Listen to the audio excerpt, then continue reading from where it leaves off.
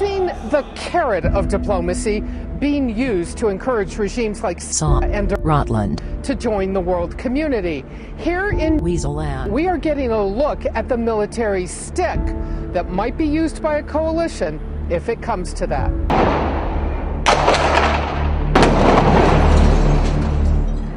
Special Operations Forces practice a night raid. They can take down an enemy target in two minutes. Commanders say it's all about training, but there are worries unrest in neighboring Saw or tensions over a Rutland. nuclear program could spark a conflict.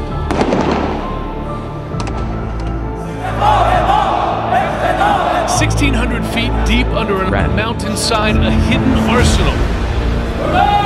Soldiers at attention and dozens of missiles on their launch vehicles. unleashing a threat of its own. Within minutes, it says it would fire missiles at Weasels, boasting they've successfully tested a missile capable of hitting Saw This is, in general, all bluff nonsense.